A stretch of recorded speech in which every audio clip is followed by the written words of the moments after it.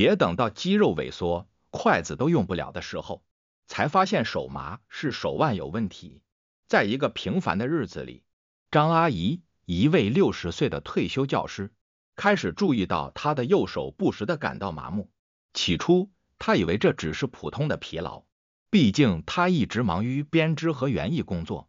然而，随着时间的推移，这种麻木感变得越来越严重，甚至开始影响她的日常活动。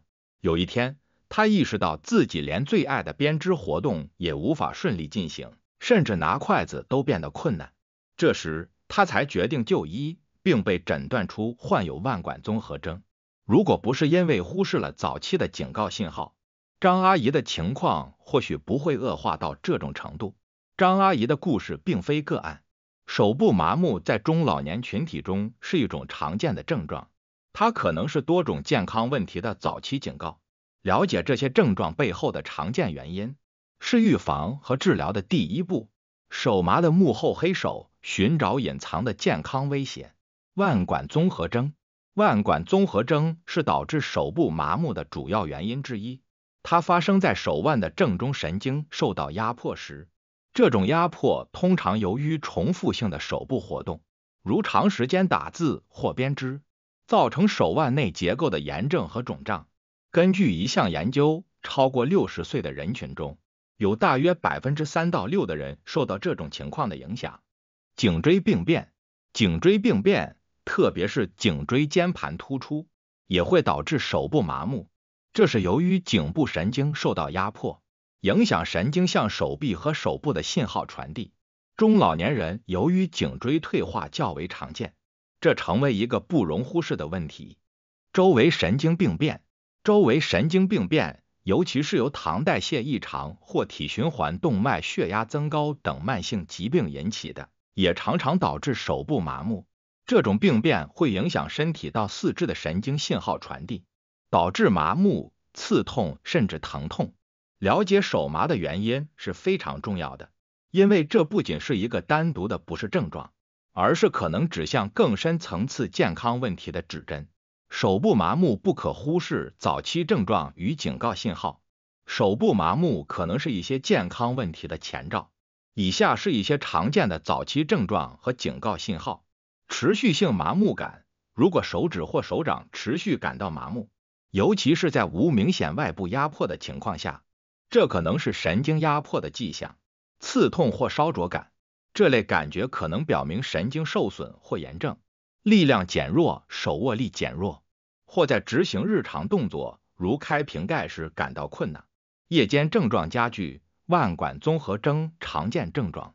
夜间休息时手麻感更明显，识别这些信号并及时采取行动至关重要，以防问题进一步恶化。日常生活中的手部保健，简单而有效的预防措施。日常生活中的简单习惯改变，可以显著减少手部问题的风险。手部伸展运动，定期进行手指和手腕的伸展运动，以增加其灵活性和血液循环。正确的姿势，使用键盘和鼠标时，保持手腕自然放平，避免长时间弯曲或扭曲。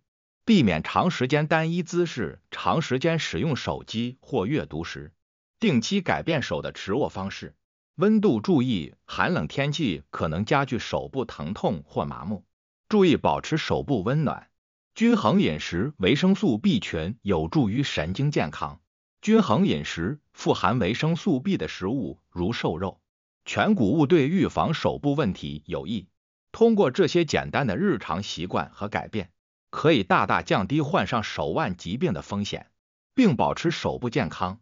这些习惯易于实施，适合所有年龄段的人群。不要等到问题严重时才开始关注手部健康，预防总比治疗更重要。揭秘：手麻不只是小事，这些治疗方法你必须知道。在探讨手麻的专业治疗方法之前，重要的是认识到每位患者的情况都是独特的。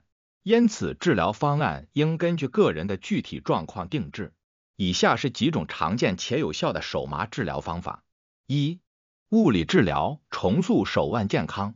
物理治疗是手麻治疗中的重要一环，尤其在初期症状出现时，物理治疗师会根据个人情况制定一套运动方案，这些练习旨在增强手部和手腕的肌肉，改善血液循环，并减轻压迫神经的炎症。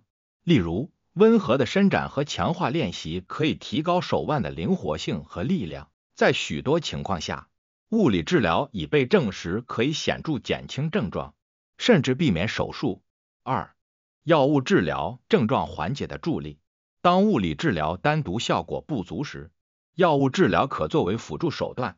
非甾体抗炎药 NSAIDs 如布洛芬可以减轻炎症和疼痛。在更严重的情况下，医生可能会推荐糖皮质激素注射，这可以直接在受影响区域减少炎症，从而减轻症状。然而，需要注意的是，长期使用药物可能有副作用，应在医生指导下使用。三手术治疗最后的解决方案，在手麻问题持续严重且其他治疗无效时，手术可能是必要的选择。例如，腕管综合症常通过切断腕部横膈膜来减轻神经压迫。手术通常在局部麻醉下进行，并且恢复期相对较短。尽管手术风险较小，但仍需经过医生详细评估，并与患者充分沟通可能的结果及风险。四、综合治疗个性化的疗愈之路。通常，最有效的治疗方案是将以上方法综合应用。医生会根据患者的具体症状、健康状况和生活方式，制定个性化的治疗计划。这可能包括规律的物理治疗、适当的药物治疗，以及在必要时进行手术。此外，生活方式的调整，如改善工作和生活环境。也是治疗手麻不可忽视的一部分。